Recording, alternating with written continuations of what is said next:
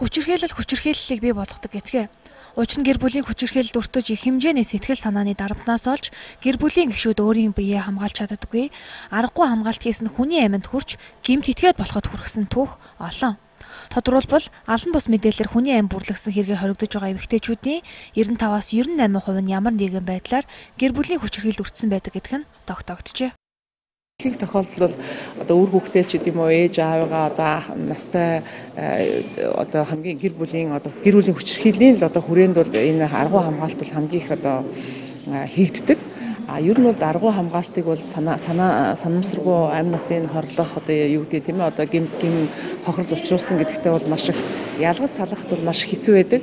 Энийг бол одоо бас э, яг эрүүгийн процесс, эрхний процессын хуулиараа бол маш нарийн одоо хуулиар зохицуулж энийг бол чөлөөлж өгдөг.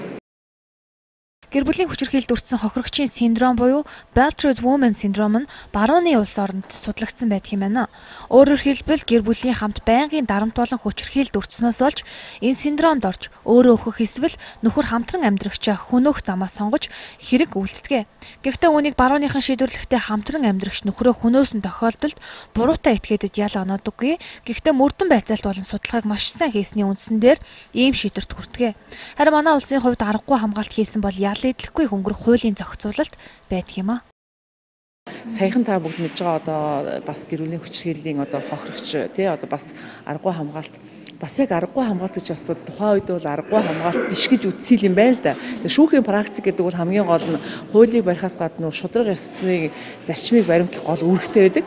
Тэгээ тэр утгаараа бол нэгэн одоо дээр үед ял авсан тийм ээ одоо шүүхийн практикаас харцсангүй өөр байх үед бол тийм ээ одоо аргагүй хамгаалт биш юм байна. Энэ бол одоо санаатаагаар хүнийг санамсгүйгээр хүн хүн амны хэрэг хийсэн гэж үзээд жишээлбэл яалгсан байх жишээ байгаа байхгүй юу?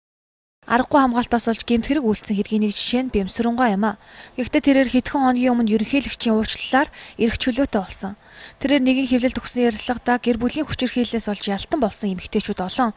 Гэхдээ хүний амнаас гэдэг бол үнцэнтэй гин бурууга хүлээж ялаа идэлгэл учиртай гэсэн юм а.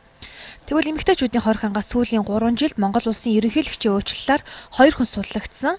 Бямбсурунгаа хувьд 3 дахь хүн нь болжээ.